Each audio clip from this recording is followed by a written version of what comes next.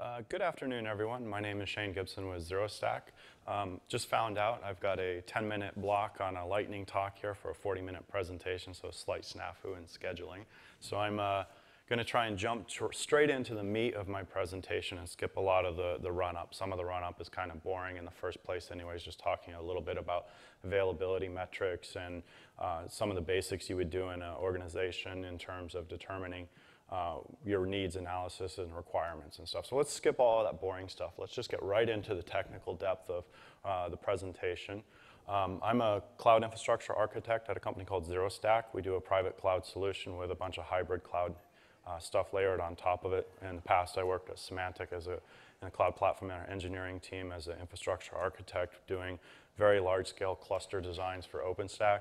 Um, been around technology for a long time from mainframes that predated my existence by 20 years in the United States Marine Corps uh, all the way through uh, cloud infrastructure architects have a broad range of experience and expertise.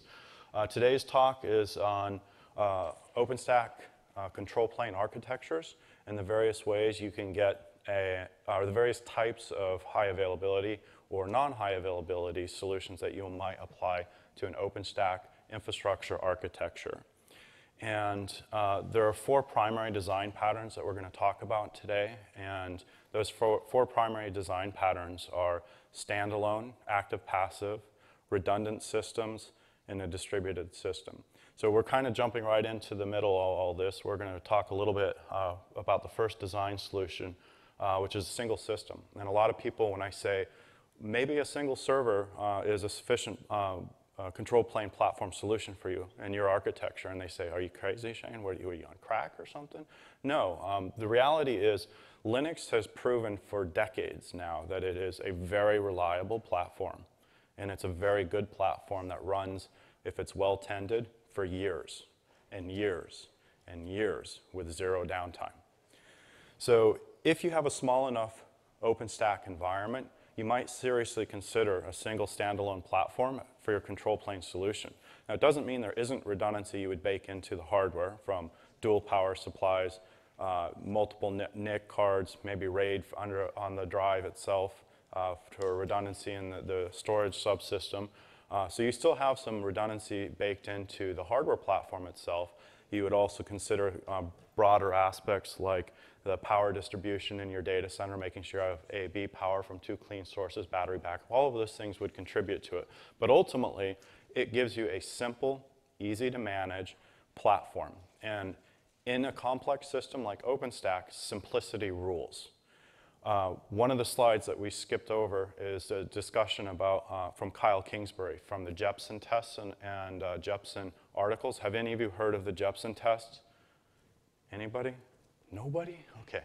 So go look it up, please. So Kyle uh, does a bunch of uh, torture tests, essentially, on distributed systems. And he writes very long, comprehensive articles on um, how distributed systems break down and fail and why. And smart people take his test information and actually learn how to better architect their distributed systems. And we're talking about fundamental solutions uh, that you might use, MongoDB, Cassandra, uh, how um, and Pacemaker behave under duress, uh, how a lot of these distributed quorum protocol uh, solutions that we all rely on to be rock solid, how they all fail.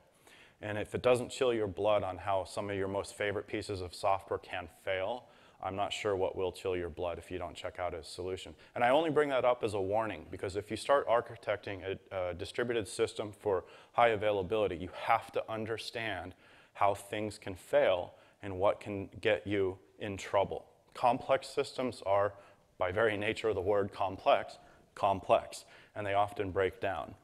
Uh, so consider uh, a single solution. It's a very good solution. You can easily generate around 99.9 or better percent uptime that correlates less than four minutes of downtime a day, 14 minutes a week, something to that effect.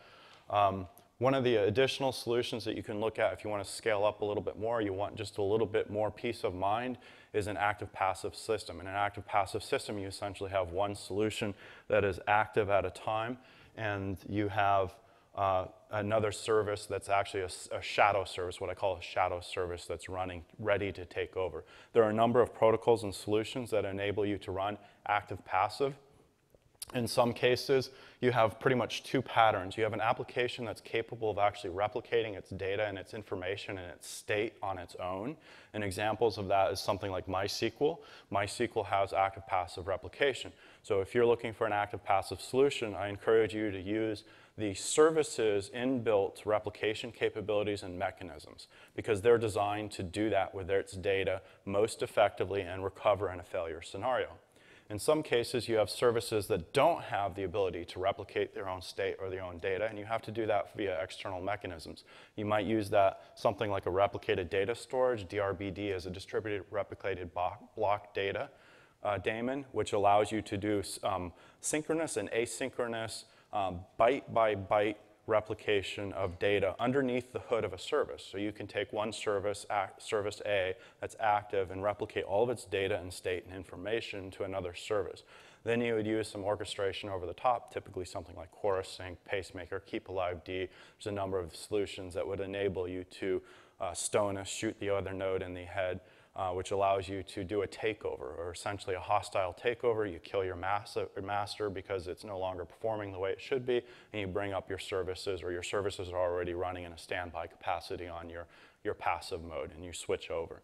So sometimes you, you use the inbuilt mechanism of the service itself. Sometimes you need to provide uh, that via external mechanisms. Uh, one of the other design patterns is a clustered solution. Now, this is a generic discussion about clustered solutions. Clustered solutions typically have a mechanism by which they have a leader and followers. This is sort of common terminology for that. So, one leader is elected by all of the quorum to become the leader, and he's responsible or she's responsible, let's not be sexist, for uh, orchestrating all of the services and who is the actual responsible for making decisions. Now, an important thing in quorum-based uh, clustered solutions is you always want to operate on the principle of odd numbers. So remember, in the real world, network partitions and other partition issues and events occur. If you have a network partition that, that partitions a four-node cluster and you have two nodes and two nodes partitioned, none of them can form quorum and decide who can be a leader because two is not um, consensus in a cluster. So always remember odd numbers, three, five, seven, so you can ensure quorum if you have an even network partition event. Um, and this is also, when you start talking about solutions like this, this is where a lot of the Jepsen articles start coming into play. It's very important to understand how some of these art, um, solutions can break down and fail on you. And I'm not trying to scare you away from them. Again, you want to understand how all of those things uh, will affect the service of your, uh, uh, that you're trying to provide. One of the last uh, solutions, oh, continuing on uh, with, again, my, my slides are all a little not in the flow I'm expecting for 10 minutes here, but um, one of the other things you can do is you can apply both virtualization or containerization as an orchestration mechanism by which you can manage the services in a distributed environment.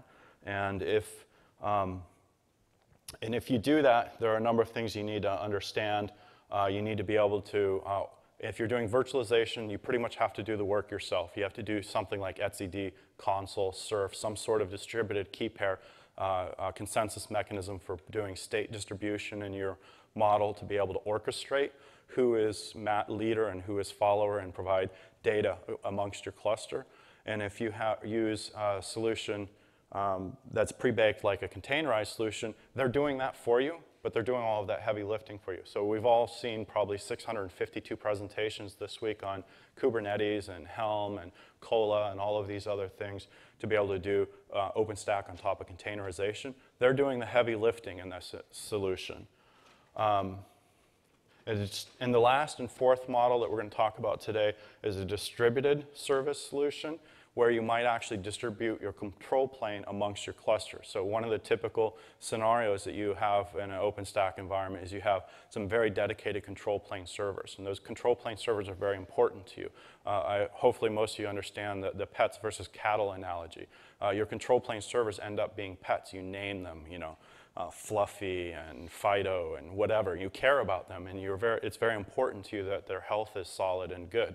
And if you um, if you, and you treat your, your data plane services, your compute nodes as cattle, Well, that's not potentially a good idea. Or you have a small cluster you want to do distributed scaling if you're using some additional uh, tools to be able to do placement of your control plane services.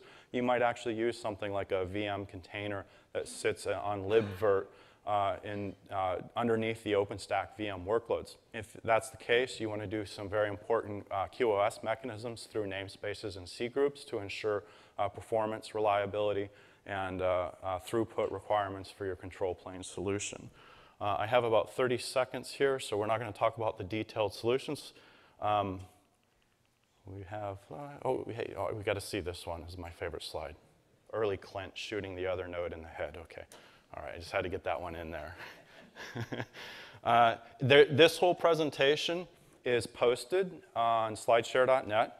Uh, look, just search for the presentation title. You can get the whole entire presentation. My email address is there. Has all of the other additional information or surrounding it uh, related to this presentation. If you have any questions about the, all the information that's in there, let me know.